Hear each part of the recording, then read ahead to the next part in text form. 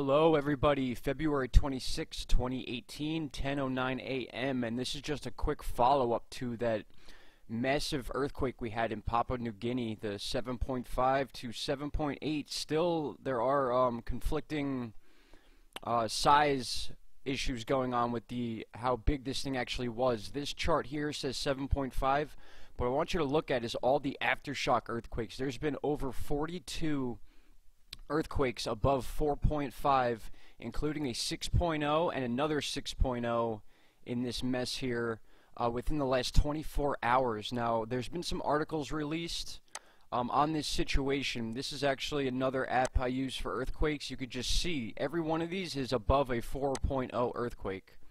And uh, on the thumbnail, you can see, actually I have some pictures brought up here. Let's look at this one. You can see all but one of these is uh, Papua New Guinea. These are all aftershocks caused by that big 7.5 to 7.8 earthquake. All of them had potential tsunami information involved with them at one point or another. I think they've all been canceled, but that's just very crazy that this amount of aftershocks have happened. They said the initial earthquake lasted about 40 seconds, and it did do damage. There is pretty significant damage that went on. There's uh, tens of thousands of people apparently that live here um, in this circled area that I'm circling with my mouse. You may not see cities, but there's a lot of different uh, tribes and stuff and people that live out here. And you can see right here, this is actually a uh, uh, the top of a volcano here. It's not labeled on Google Earth, but that's certainly an old, uh, extinct, if you want to call it volcano. And then if you go over to Google Earth and you back out a little bit, you can see Papua New Guinea is just surrounded by uh, volcanoes. Now, I did know this in the past. I didn't mention it in the other video, but we had another 6.0 earthquake right around this area yesterday, and another 5.4, 5.8 in this area over here. So there is a lot of movement going on on this uh, fault line that runs along this area here. Again, lots of volcanoes, and then the articles that I'm pulling up here show uh, there were some massive landslides due to this. They have sent out a... Um, a disaster assessment team into this area of Papua New Guinea just to see if they could find anyone that has died or other damage. There's been roads co uh, totally covered with landslides. And again, a lot of people just live out in the wilderness in Papua New Guinea, so there are people out there. Uh, this is a grocery food store that was totally destroyed by this. Um, again, they said the shock that and the tremors last up to 40 seconds long. Imagine a shake lasting for 40 seconds. Uh, there's some some quotes here from different people on the island. and again, they are just talking about the uh, the current damage and the assessment team that they have out there currently that they are using to try to find either people or other major damage that's gone on. They literally have to drive the, all the roads. This is a picture from that other website as well. In fact, I think it is the same picture. Yeah, it looks like the same picture.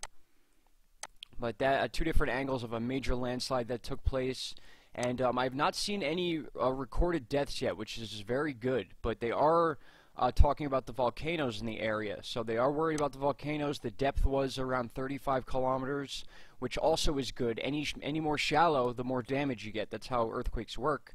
But they are concerned about the volcano situation in that area. And again, 42, probably more now in the last 24 hours of 4.0 and over. That's all these right here. This is all within a small area of Papua New Guinea. You can back out and see it's in a little cluster.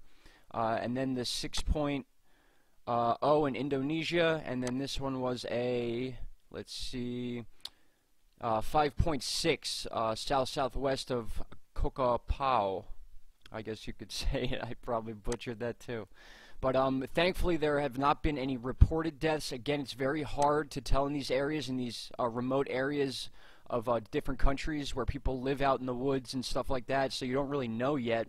So they literally have to travel these entire areas while watching out for aftershocks. So I just wanted to bring that update to you guys. There's been a lot of movement going on in Papua New Guinea. Uh, right after that 7.5 to 7.8 earthquake, and they are still going on. My earthquake app was going off all night long. Uh, you can ask my girlfriend. She was about to go nuts over it. The thing just keeps making noise. I don't know how to turn it off. There it goes again. It's in a box too, because I'm getting ready to travel, and uh, the thing just keeps going off. The sound is muted, and uh, I don't know how to turn it off. So I guess I'll be listening for the rest of the day. But I do have a weather update on the way. Uh, we do have a tornado situation that more than likely will go on uh, beginning March 1st, guys, in the same area we had it two days ago. So I will have that in a few hours once I get back to uh, Northeast Pennsylvania. I'm about to travel now, but I want to bring you this update that uh, there has been a lot of damage, a lot of landslides, and hopefully no deaths reported with this earthquake, but yet very, very significant, and the tremors are still going off. So, again, that weather update is on its way, and I will talk to you guys soon. I hope everyone has a great Monday. Take care.